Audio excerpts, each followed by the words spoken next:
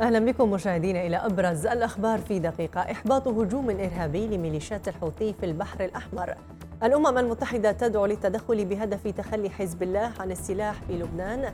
ضربات أمريكية تستهدف مواقع عسكرية تابعة للنظام السوري.